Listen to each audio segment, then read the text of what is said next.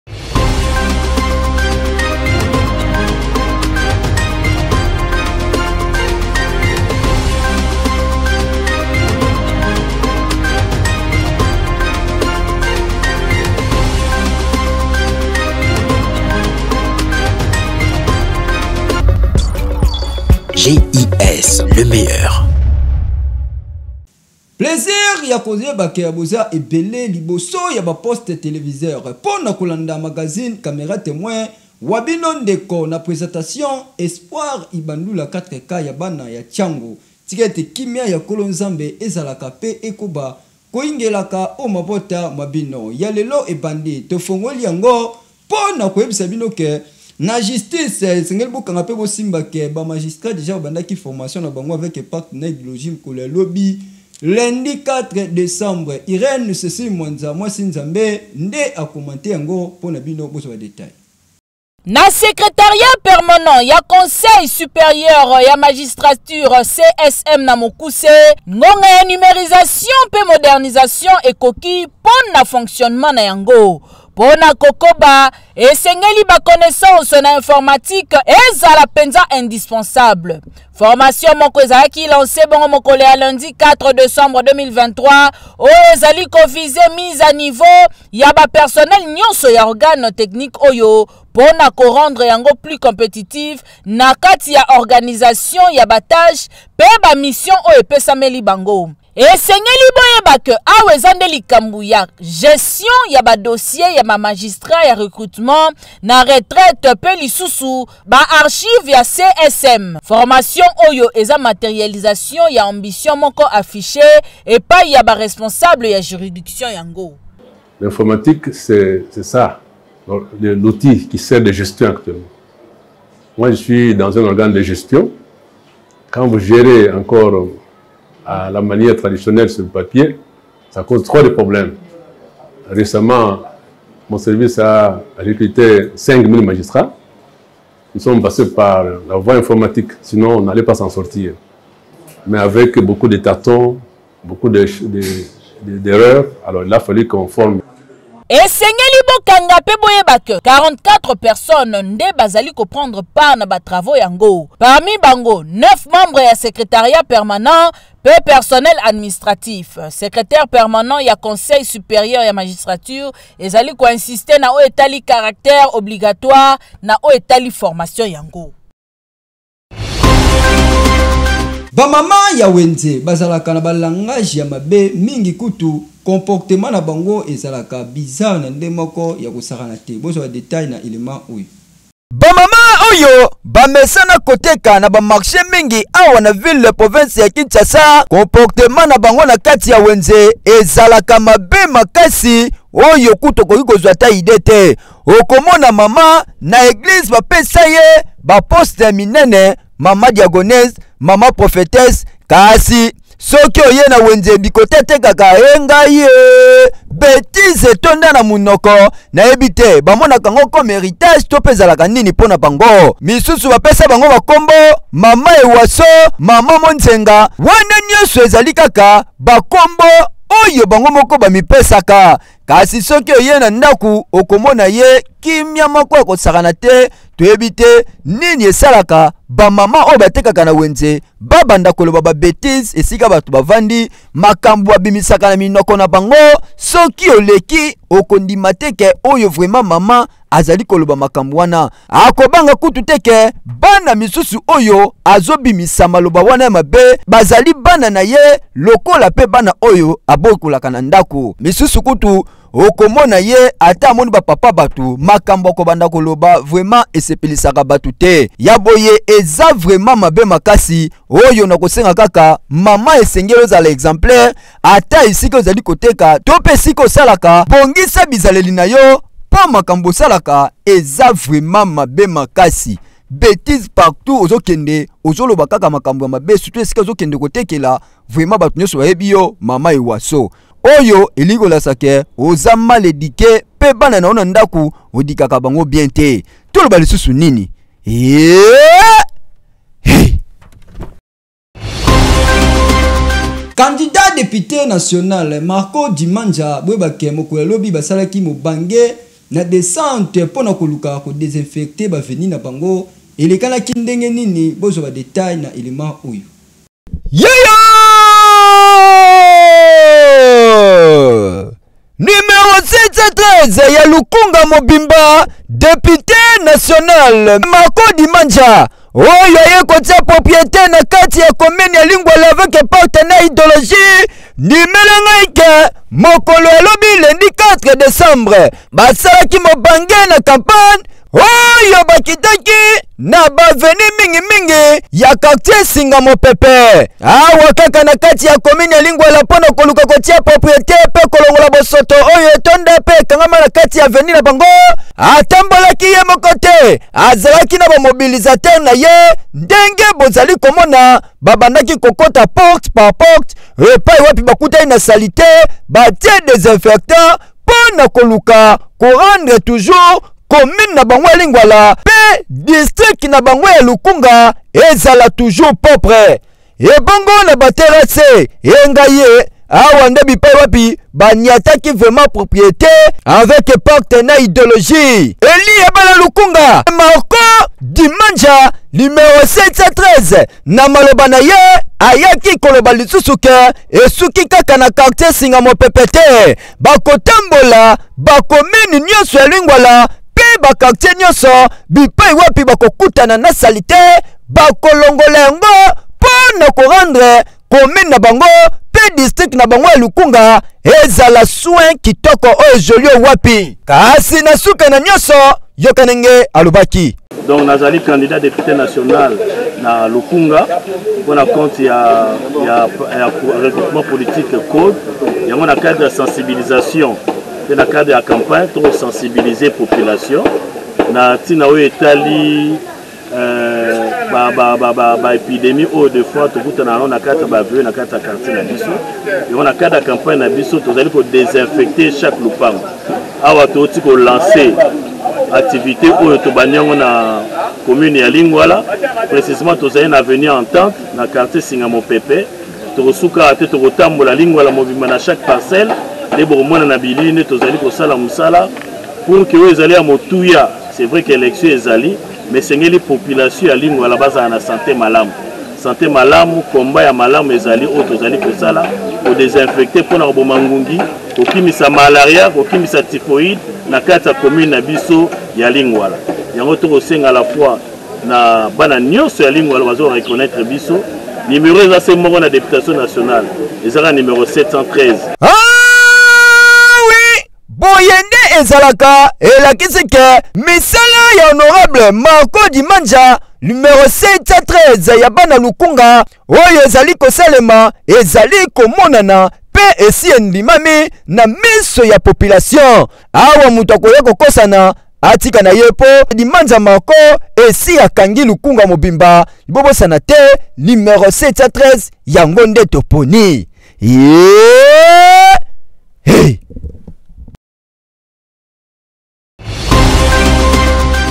Na ngambo na ye Generose Esengo akitaki bongo na commune ya Masina kosalela bino reportage ndenge nini pont ya Salongo eza ya kodinda makasi population baleli.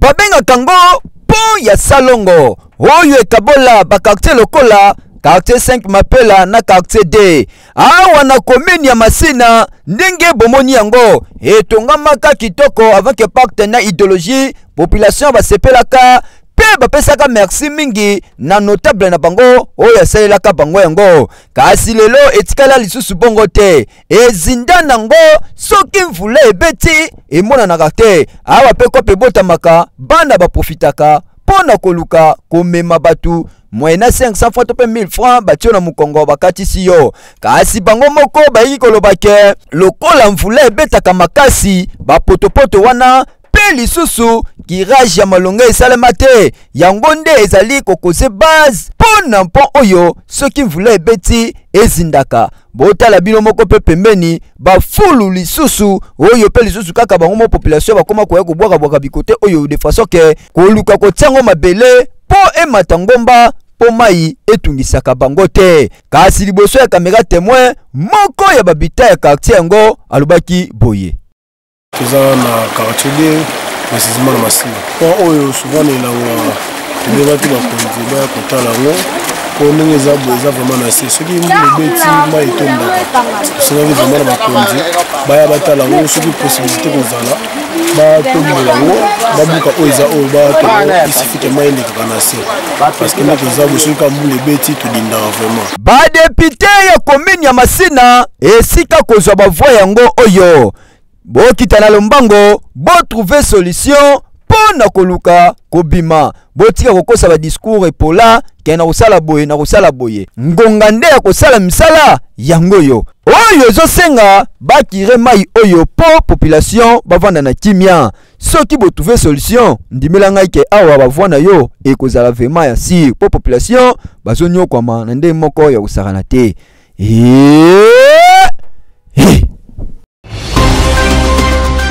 totika komini ya masina toke na komini ya selembau mpo na koyebisa bino ke aveni kibinda eza mpe kuna ya kobebana mabe makasi irene cecile mwanza elongo na jude ndeko nde basinye reportage oyo mpo na bino bolanda Tozali bongo na croisement ya baveni Kabinda na Selembao, precisement na commune ya Selembao. Bondimela ngai que salite pe bosoto oyo etondi na croisement oyo bolukela yango kombo. Bino moko botala ndenge mai efandi na avenue, salite pe solo kondima te. Kasi ya kokamwa pe pasi ezali que bino moko botala oyo oh, nini? hopital pembeni kasi na kati ya hopital wana mpe baservice nyonso ezali lokola maternité kasi tozali komituna na solo na salite oyo bana bazali kobotama mpe kaka awa bamaladi bazali mpe kovanda kaka na bakondition oyo eza malamu te kasi tozali kotuna mpe eske hopital bakoki kosalisa salongo te bakoki kobongisa te esengeli bazela kaka leta tandiske leta aza na makambo mosusu maladi mpe bosoto solo bino nde bozali kobika yango kasi selon bainformation tozwaki sur place population balobi ke eloko ekomisa aveni boye eza nde bakamio ya minene nde esalasala bamabulu nsima nde bamai ya mvula nyonso eyaka kovanda awa kasi population kinoise mpe lokola bango mpe bazalaka na conscience te bakoma kobwaka salite kaka awa bino moko botala basalite milangi pembeni kote ope ekole tala bana nde bazotambola na difficulté bato bazoleka na coin coin awa soki oleki na presse yeba ke okodinda ozongi na potopoto tozalaka basi kitoko so toana elanga na mbula mawa pledon osepela na okuta etaka nde eza bafi ya bien boye meta veni tovandaka mawa plein donc tolataka talon tolata talo oke nziani ta nzela yango nde eza président tala biso no nzela oyo donc likambo ya nzela oyo nde problème donc ta nde eza esengo nango kaka so elanga o babongisi kuna bongo a moye babongisa yango eza te tozalaka ka boye eza kitoko te boye donc so eza te eza salite avenu eza salite makasi omoni nzela oyo ekomi boye mpo na nini bato ya bazelo bato bazobebisa nzela oyo malamu baexprime bango nzela oyo baleka lisusu bato pangwa bato ta ndenge ekomi bato pangwa ebebi bebi likolo ya bakamino ya zelo otokosala ndenge nini ye fati azomona te bedepite awa na selembawa ata moko toyebi bango te tomonaka mpe ata moto deputeburgumestre aya koto rien ezala burgumestre ezala badepute bamonanaka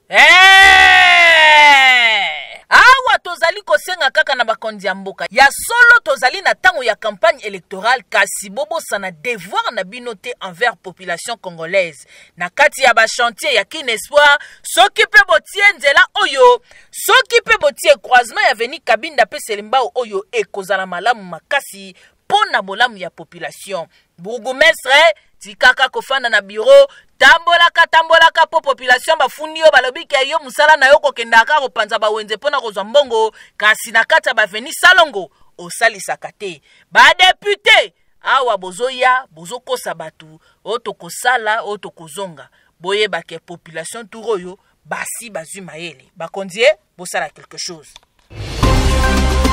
Hey, Kinshasa! Awa tozali na komini ya Selembao na direction Gombe Matadi kobanda avenue Landu ti na parking ya wenze ya Selembao ndenge bomoni ekoma na etat de la vraiment très très très avancé na ndenge moko aliseki te awa soki mvula ebeti to mpe ebeta te ezalaka mabe makasi kaka ndenge bozali komona bapotopoto ebele kasi eloko ekamwisi biso ezali ke bamama oyo batekaka wana baprefera na bango konyata bapotopoto s'il vous plaît bango wana bazali koteka na katikati ya bapotopoto soki kiliya ye asomba eloko okomona ye atelemi mopanzi azali kosala komande na mosika tielanga tomati ya 500 otie pilipili ya 300 otie mungu ya 200 franc nsima na yango bayeli ye mpo soki aluki akota na potopoto makolo nyonso ekobeba ye bango moko très méchant liboso ya kamera ezude ndeko yoka ndenge basalaki communication problème eza ya salite nde eleki ya makasi salite mo eza wa bakonzi bazoya kozwa bambongo ya tike mbongo ya salongo tomonaka biso te bato moko bazosalela biso basalongo awa ah.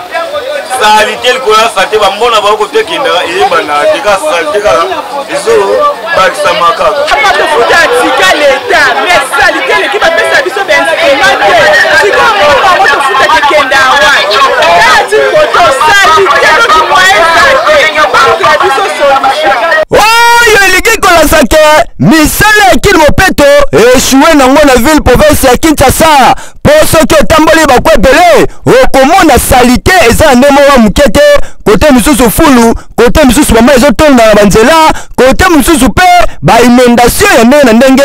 eza kosalema sikoyo papa na ndenge bokosamikosami mingi ya tu oyo olobi nini eee Hey! Phénomène Chegue na ville province ya Kinshasa eye lisusu makasi. Irène Cécile Mwanza mwasi Nzambe nde asali constant mpo na elema oyo. Na Kinshasa, capitale ya Republique democratique du Congo, esengeli boyeba que bana ebele bavivaka na balabala oyo babengaka ba shege to mpe ba phaseur. Kasi boyeba que ba cause ezali ebele na base ya ki phenomène oyo. Eza na ebele oyo ba se retrouvaka na balabala mpo ete ba traita bango ba ndoki ntango ba parents na bango bakufaki mpe ba misusu ba orphelinats baboyaki koyamba bango. Kasi esengeli boyeba que mpo na bango ba moyens nionso ezali malamu mpo na kozwa nini oyo bakoki kobikela. Eza na ba misusu bakoma na bango ba miyibi, misusu mpe basalaka misala ya maboko, misusu mpe basengaka c'est-à-dire bakomaka ba mendiants na balabala kosengaka mbongo par ci, kosengaka mbongo par là lokola elenge oyo jeremie aza na au moins 10 ans boyoka ndenge alobaki tolingaka nyonso basengi te nalalika bongo ntongo ntongo nabimi ntongo nasengi nazwi nasengi te nalali kaka bongo nde nasala ce problème là il est global hein? ça dérange le mers ça dérange l'état ça dérange même le fonctionnement de l'état parce que qu'est ce qu'on dit la jeunesse ou l'enfant c'est l'avenir de demain Mais qu'est-ce qu'on constate Cet avenir de demain là, aujourd'hui, il est dans la rue. Il n'est pas éduqué. La faute est partagée. C'est pourquoi il dit il est global. Boyeba que République démocratique du Congo ezali ko disposer na arsenal juridique moko censé ya kobatela droit ya bana kasi pauvreté to mpe kozanga ya bafamille ebele yango nde ezali mpe kosala ete bana ebele babima na balabala Droit ya bana esengeli etikala kaka sur papier te mpo ete bango bazalaka celebrer le 20 novembre ya bamvula nyonso. Journee oyo ba projecteurs ezali braquer sur droit ya bana. ekomi na etat ya delabrement très avance mpo na bancofa oyo babwilaka na nzela yango awa tozali na komine ya lingwala na aveni nyangwe mpe na wileri mingimingi bamotare na batsofa oyo bamesana kobeta kisela ya nzela wana mikolo oyo bazolela bazonyokwama banda bamvula ebandaki awa nzela ya koleka eza lisusu te okanisi yango ezali liziba oyo babokolaka bambisi te ezali nde mayi ya mvula oyo ekomi kobeta mikolo oyo ekomi kovanda kaka na katikati ya makadam s'il vous plaît eluki nzela ekutani na nzela te yango nde ekomi kosala ke etonda awa lokola mpe baterase ekoma bushe yango mpe lizali lisusu kosala ke bamai ebanda kovanda botala bino moko na milangi ndenge etondi oyo elingi kolakisa ke misala ya kini bopeto esalemaki nango te yoka siko communication ndenge esalemaki epai ya wewa moko nzela oyo nzela eumeli kaka boye so balinga mpe omona yango te nzela kaka ya obeba ata nzela ndenge ebebi bino tu bomonaka nde nzela ndenge ebebi nzela nde eza ya obeba nde aboye ato wana wileri ta nzela yango ndenge eza ya obeba me bakonzi ebele bazalaka zaka awa me nzela toujours ya kobeba tokoka te tokoka vuma te ta vuma mbula ndenge ebeti nzela ebebi nzela vuma ebebi nzela vuma ebebi vuma makasi ti koto bamoto ekomoleka mabe vuma nzela vuma ya obebi vuma makasi avenue de wileri oyo na niangwe ezali moko ya baavenue minene awa na ville province ya kinshasa na commune ya lingwala Mpe toyebi ke babare ya minene ezalaka kaka wana, kasi kobandone yango mpe kotika yango boye ezosala mabe makasi mpo na bansofa na bamotare oyo babwilaka bikote yango. Atuka awa soki solution ezwami na mbango mbango te, tokoyoka badege makasi mpe lisusu boyeba ke bambuteage ekomi deja mpe kosalema bikote yango. Yeah! Hey! na elema oyo nde nakomi na suka ya presentation ya magazine camera temoin kasi bopesa merci mingi na serge ilunga oyo akumbelaki yango avec pacte na idéologie na nsima ya camera ezalaki bongo nde générose esengo mwasi ya kitoko oyo azobenda nga bote mpo tomonana kitoko na bandako na montage mpe alinema ekomamaki lisusu kaka vrai kitoko epai ye moko serge ilunga Balobi mwana mobali oyo asala mosala ndenge kaka bozo mona kitoko oyo wapi kasi toloba lisusu nini bana tiango mobimba depute national aza kaka se moko pitshou biding se tia ons bopalangana te bopesa ye chance po tiango e change toloba lisusu nini nga nakomi na nga na suka kasi lobi bokozala na Irene Cecile mwanza mwasi nzambe na compte ya presentation ya magazine camera temoin boye te.